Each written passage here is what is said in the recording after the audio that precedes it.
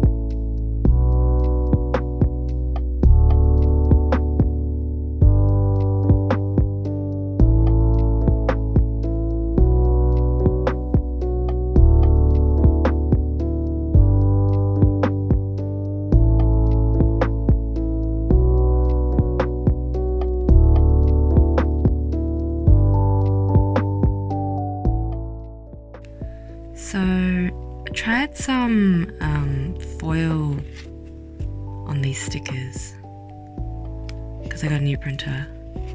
My old laser printer was not great and I had like non genuine ink. And if I were to get a new ink cartridge for that printer, I would have to pay more than what I would for this new printer. So I ended up getting a new printer instead of buying new cartridges for the laser, and it looks great. The only thing I'm not happy about is that the foiling pressed the edges of the foil and you can see it. So, me saving foil doesn't really look great. Might have to um, actually get like a bigger piece of foil and foil more than what I need, which sucks because I don't want to waste foil. Like it's, it's too too pretty to waste. Anyways, this is just a trial. It does make my stickers go a bit um, curly, and these are also new sticker paper that I'm trialing because um, my old sticker paper, I didn't like that there was a slit at the back. And I've tried contacting the manufacturer and they can't do custom orders for a no slit at the back. So now I have to order these stickers, which is like way more expensive than the other stickers that I was using. So, yeah. But otherwise, it has turned out great.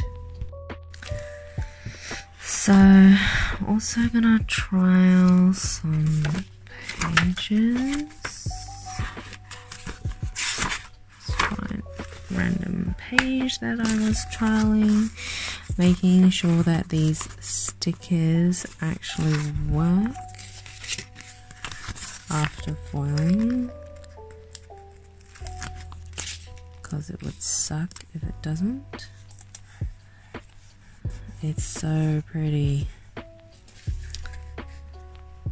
It has an extra shiny bit to it compared to these other ones that you look at the other ones you can't see it unless on certain angles but like my old sticker paper and non-foiled sticker paper looks great but it still feels matte um, it's just a little glittery because of the pressure I'm just using a random like cheap um, laminator that I got from Kmart.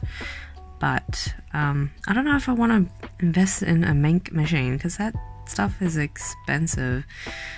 The only good thing about the machine is probably um, that it has different pressure settings or heat settings or whatnot that would make possibly make a difference in terms of like having these weird halo lines from the foil edges.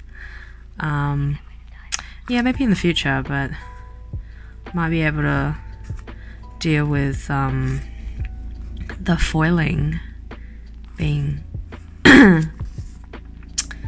like this for now. This is a non-foiled side. And it looks great. So, um, yeah. They cut pretty well, even though, like, I wasn't even sure what I was going to do about the registration marks on Cricut. Excuse the helicopter. Um, yeah, I wasn't sure what I was going to do about the registration marks, but it seemed to be fine. Like, it's not entirely out. Um, here are some old stock, and these are the cut lines, like they're very centered. Whereas this one is slightly lower but that is just a problem with me loading the printer paper and reprinting on the laser. I don't know. I need to figure out how to make this easier and not have to worry about the registration marks changing on the cutting of the stickers. I don't know if Cricut has just been weird again because it just had an update, but it could also mean that um like it's the printer as well. See, these two pages are the same, printed on the same page and cut on the same page, but one is higher than the other and one's not. Unless I placed one higher than the other. I don't know, this one looks fine. Waking up feeling like it's gonna rain. It's sunny out, but it just comes in waves.